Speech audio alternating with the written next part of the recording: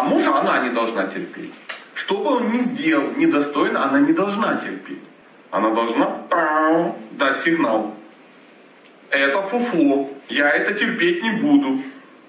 Она говорит, будешь? Нет, не буду. Потому что мужчина попробует, ну, чтоб терпела.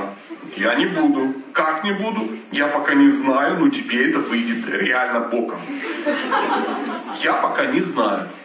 Но ты точно попадешь папку дискомфорт.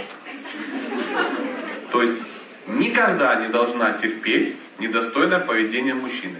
Чтобы женщина никогда не терпела недостойное поведение, и мужчина ее не убил. А такая мысль пришла, правда? Она должна всегда его благодарить за успехи. Всегда, без исключений. Если ты ему хочешь что-то такое сказать, вспомни, что он сделал хорошее.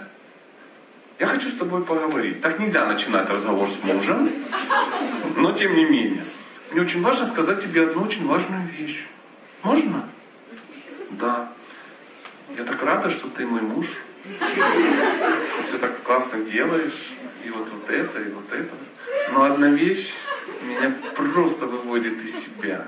Ты сегодня у мамы вел себя как сука просто. Ты, так, ты вот меня так унизил, поэтому я так на тебя обиделась, поэтому я сейчас иду наверх плакать. Ты делай, что хочешь. И ушла.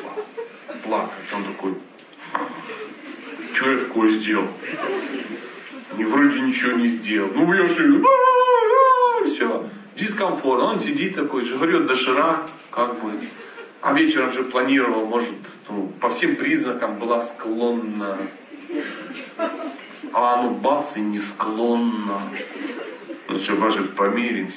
Ты так себя вел, что убил, ты отравил мой девичий мозг, ты растоптал мои Эдельвейсы.